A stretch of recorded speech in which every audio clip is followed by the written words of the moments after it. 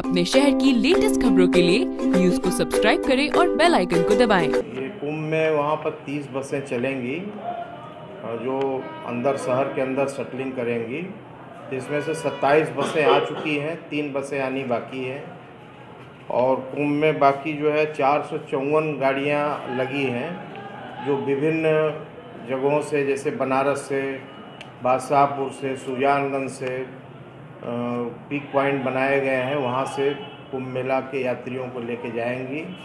बाकी अगर कोई और भी यात्रियों का डिमांड आता है तो उसके लिए और भी स्पेशल बस लगाई जाएगी।